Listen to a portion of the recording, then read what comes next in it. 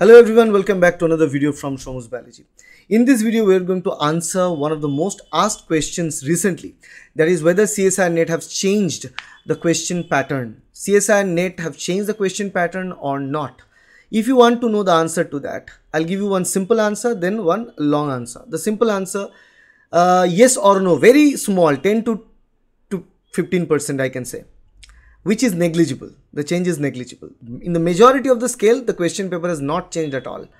And now I'll explain why. Okay, now if you wanted to know why I'm saying this, let me explain. Because many students and many, many also, many uh, of the uh, teachers are also stating the same thing that the CSIR NET question pattern have changed. See, the question pattern has not changed in uh, in majority of the scale. Why? Let me give you a simple idea See in CSIR net there are two type of questions. One is the memory based question that is part B questions. Okay, simple, straightforward memory based questions. Either you know the answer or you don't know the answer. You cannot beat around the bush to get the answer. Right? So that's it. So those kind of questions in part B remained as it is. There is no change over that. In part C, earlier the question pattern was supposed to be more conceptual in nature, so more analytical in nature, right? And earlier, 90% of the part C questions have this conceptual elements in it. Now, when I say 10 to 15% change, the change happened in both part B and part C. Less in part B, more in part C. What is that? In part B, there are direct questions, but also there are some small sum summation type problems, particularly from unit like unit 1 biochemistry, right? Then unit 8 genetics, then unit 11 Hardy-Weinberg part. From those portions, they can ask you simple, small, short sum mathematical type question. Even from unit 2, unit 3 and unit 6, they can ask you very small sum type questions. So again, this is something which is kind of preserved in part B. But now let's talk about part C that is for analytical and conceptual part. For analytical conceptual part earlier the question so in this part c the questions are three different types. One is uh, they'll give a big statement then there are small one line options.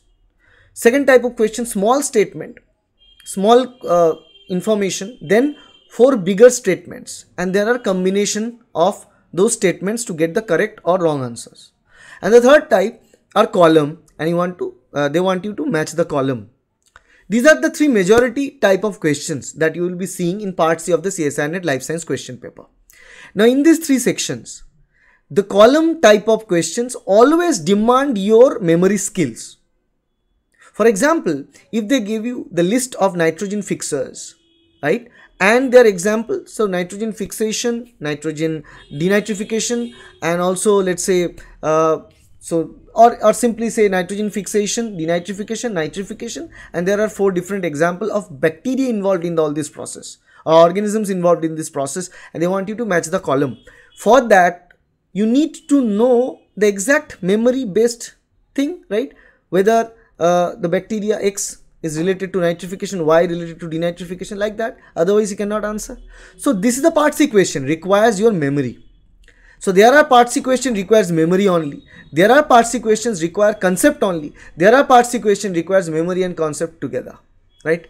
So for a conceptual question, they can ask you a conceptual question from a biochemistry perspective, right?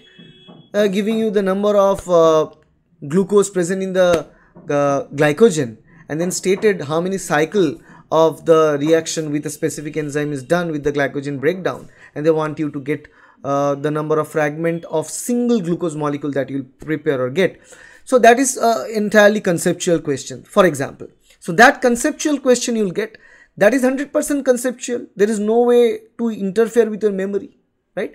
Yeah, memory is involved. In the name of the enzyme, you need to remember whether it's involved in the glycogen metabolism or not, glycogen breakdown or not, and whether the glycogen breakdown gives you one glucose, uh, one phosphate or glucose 6 phosphate or multiple glucose 1 phosphate or multiple glucose 6 phosphate. That is memory.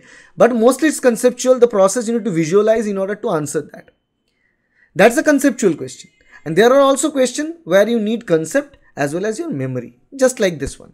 So this is something that is present in part C.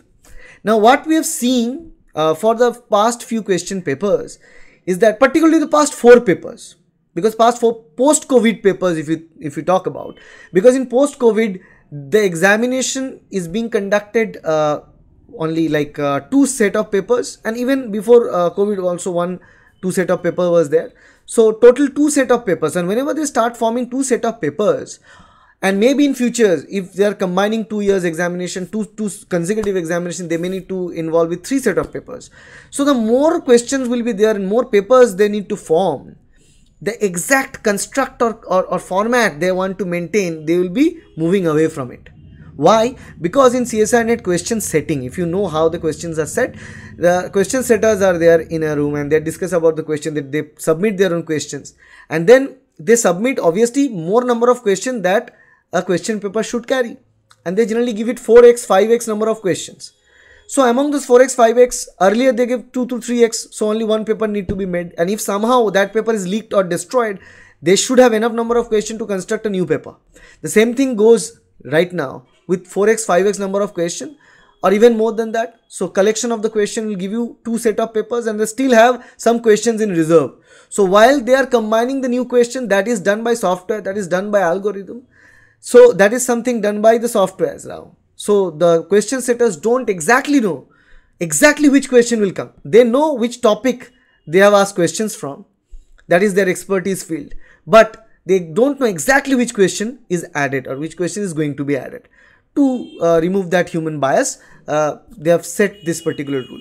So what happened is that from that time point when they make multiple question multiple set of question papers the exact uh, construct of the question is not maintained earlier the construct of the question is very simple very straightforward.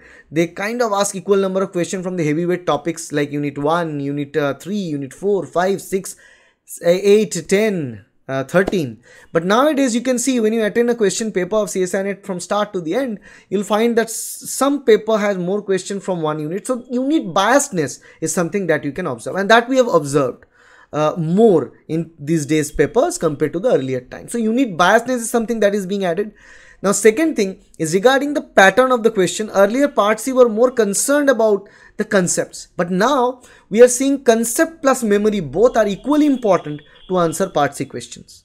So that's why students are finding it extremely difficult sometimes to answer part C questions because with only concepts you cannot answer if you forget something and with only memory you cannot answer without concepts. So you need to have concepts, you need to have information carrying in your brain to get answer to a question in part C. That's why many students find it difficult answering part C question in recent 2 3 CSIR NET examinations. Before that, there are straightforward rule. And why students think the question paper is changed a lot? Though it's not, because when they attend the question in the online CBT mode, the questions are shuffled. So when the questions are shuffled, you cannot get an idea about the questions unit from where there's being asked particularly during the time of exam because you're occupied with so much thinking and thought process in the examination hall. So earlier what was there is in paper, you know that from 71 to 76, 78 will be uh, unit 1 question then 79 to uh, 82 that is unit 2 questions. So people know what uh, was the number and what was the type of questions from in the, this number uh, frame. It was easy. But now it was not that easy because the questions will be shuffled. So you start with a question that is 71. The first question in part C that is from unit 1. It's fine from biochemistry. Then you click the next question. The next question may be from cell biology. The next question may be from applied biology. The next question may be from developmental biology. So like that the questions are shuffled. So when a student is not preparing for a topic, say, say you haven't prepared developmental biology very well. And if developmental biology question showed up two to three times repeatedly, you'll have an impression that the whole paper is biased towards development biology. And that is what exactly happened because now you have the offline papers, you just download the paper, you paste the paper, you find out the number of questions from every single unit. You'll not find any uh, unit have been taken to ask more than 7-8 questions. You will never find it. You cannot give me a unit where they have asked more than 10 questions. Not possible. It's not possible because that's not done in their software system. It's not possible. Got it? So that sense is there that if I'm not prepared with this unit 5 and 2, 3 question consecutively shown for that unit, we thought that that unit is everywhere. The question from that unit is everywhere. So students say that this question paper is totally biased for unit 5, totally biased for developmental biology and and if a person is well prepared for it, will never feel like that. They say that fine, I prepared unit 5 well, I answered all the questions, so it's better for me. Right? That's how it happens with every single unit. So unit, if you're not prepared well enough, if they ask you two, three questions consecutively, it gives you a false sense that the question is biased towards that, in which is not the case. Believe me, you can prove me wrong. You can check the question. Don't believe me. Don't believe everyone. Don't believe anyone saying regarding change in question. Just get the questions in your hand and compare. Three years ago, the question three years ago, let's say 17, 18, 2017, 18 question paper and get 2022 paper, 2021 paper. You put it and try to see the difference. First find out the question from different units. See the number of question asked from different units. Then see and read individual questions. What I told you that the questions now require both concept as well as memory. Memory factor is added to answer questions in part C, which were kind of missing in the earlier question. That's why I said the change is only 10 to 15%, not more than that. That's my take on change in question paper pattern in CSIR NET examination.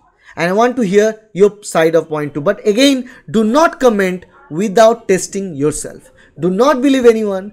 Go through the different question papers yourself. That is a homework. If you do that, it helps your understanding of the question pattern and that's obviously could be beneficial for you. Take one week, study the question paper, come back, watch the video, put it in the comment and I want to see whether you got it correctly or not. So that's all about it. If you like this video, please hit the like button, share this video with your friends and subscribe to this channel to get more videos like that in future. And if you wish to have a help from Shomu's Biology to get into doing PhD, to get into qualify CSIR NET. We run a coaching, we run study material services. You can get that, you can procure that. The details are in the description as well as in the video. Thank you everyone. Bye.